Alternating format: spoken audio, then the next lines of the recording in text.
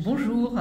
je représente le SICTOM qui est l'institution publique qui gère les déchets ménagers du Grand Paris.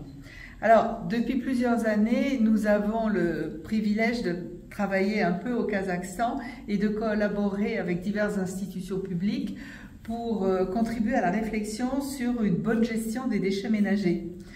Depuis l'exposition euh, internationale où nous étions partenaires, nous avons rencontré Kazakh Invest, la mairie de Nousultan,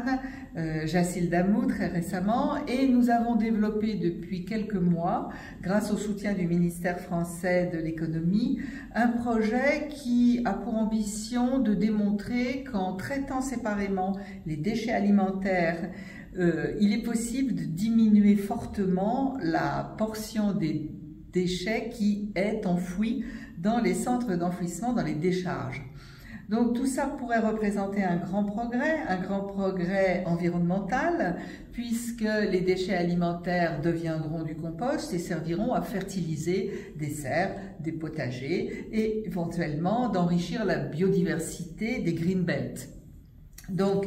euh, toute l'idée du Kazakhstan est de trouver des solutions à un coût abordable, des solutions rapidement euh, mises en œuvre pour pouvoir accélérer la transition environnementale de, de votre pays. Et euh, la France, et en particulier le SICTOM, l'institution que je représente, est très très flattée de pouvoir euh, continuer ce travail amorcé il y a maintenant cinq ans.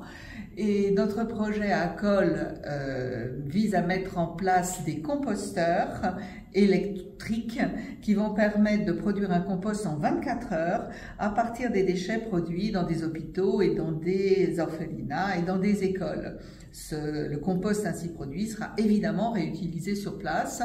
Nous avons également l'ambition avec la ville d'Acol, Kazakh Invest et euh, Jacil Damu, l'opérateur national de traitement des déchets, d'imaginer d'autres solutions qui pourraient prendre place peut-être aussi à Acol et euh, constituer un projet de démonstration d'une bonne gestion des déchets ménagers et en promouvant des solutions qui soient spécialement pensées pour la ville, pour la région et pour le Kazakhstan.